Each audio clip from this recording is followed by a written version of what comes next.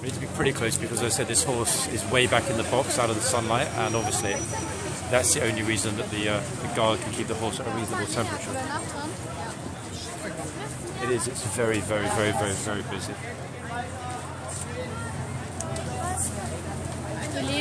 Horse looks super chill though. The guard's definitely really happy about being out of the uh, out of the sunshine. I can tell you that 100%. You should take a photo too. I've actually gotten a lot of selfies with uh, with tourists over the past few months.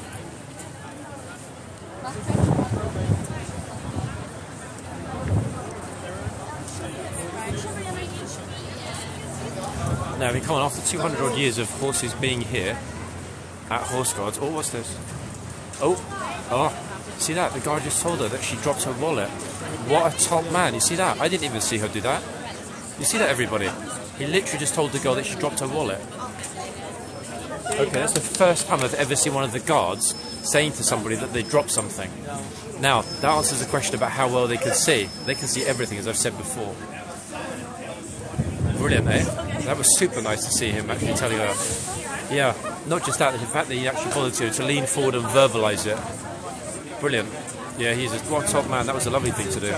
I didn't even see that she dropped it. So even if I had seen it in a, in a minute, I wouldn't have known who to give it back to.